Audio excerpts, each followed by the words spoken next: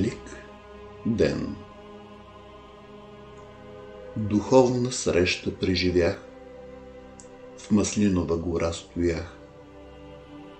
Пред мен бе момък благолик, с облик хладнокръвен като настоик. Духът ми времето прозря дълбоко в датите се взря, дошъл бе час за съдбовен дан, заложен в пазвата на времето по Божий план. Бе месец първи по еврейски план, наречен бе месецът Нисан. Лето 4223 от сътворения Адам.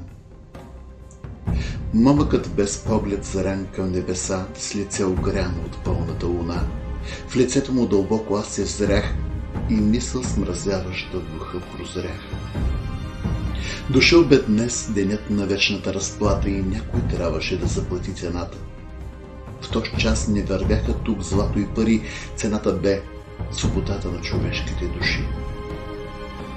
Един дух, носещ тъмнина, просъска злобно с менталитета на змия. Защо се ти, младежо, тъй косиш? Пред моята славна сила не можеш ти да устоиш. Ти дух велик си, но в тяло на човек, от славна силата ти дойде сега и моя ред, да властвам и да се надсмея над светлия ти лик, защото днес ти не ми изглеждаш като преди велик. Ще смачкам твоят лик велик, под моя бич държан от римския двойник. Ще мачкам и ще тъпча, докато се предадеш. Лицето на смъртта ще жадно ти зовеш. Не се надявай ти на старата си мощ, сега си станал като стръх от полски хвощ. Направи грешка ти, че в царството ми съм надейно дойде, моят гнусен червей ще те изяде. Така нападаше този пълен дух, без пир, изпълни с лукавата на слада в любимия си пир.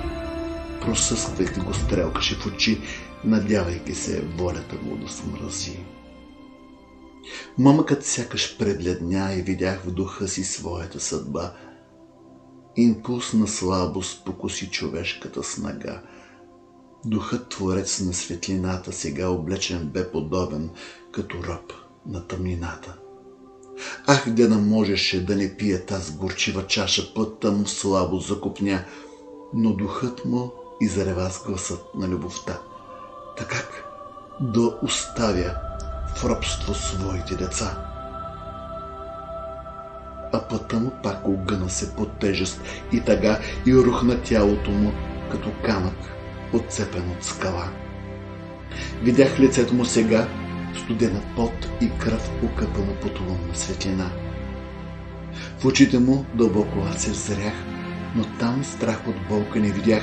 Страхът без сал един в душата на сина – да не би между него и отца да пусне корени греха.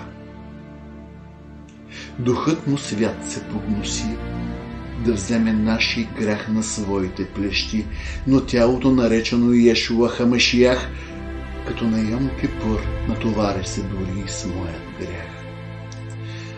Духът на мрака разлютен нахвърля се като хищник настървен, враг на истината и любовта. Звярат князът на мира презря. Змеят дълбоко зъбите си впи в нежната Господня плът и то с час на Исус му премаля от греховете и смъртта. Опита се да се привдигне с греховете на гърба, но припадна с кръп в сърдечната си град. Цялото небе замря пред подлостта на Сатана – Ах, чашата бе тъй горчива, като отрова за Сократ, че лукавят не спира да забива отровни зъби на смъртта в привити от греховете ни Господен врат. Само един, единствен звук от любовта изправи на крака Господа Христа. Той впери поглед устремен, замислен за тези, що са като теб и мен. Чух гласът му нежно да събужда Петър. Ставайте, деца! Часът удари за кръста. Нека бъде бодър духът ви този час и сега, защото слаба е плата. Погледна ги в очи в този час на утринта и каза Скоро ще видя предателският лик, но бъдете бодри. Днес е ден велик. Днес ще освободя моите деца от робството на Сатана.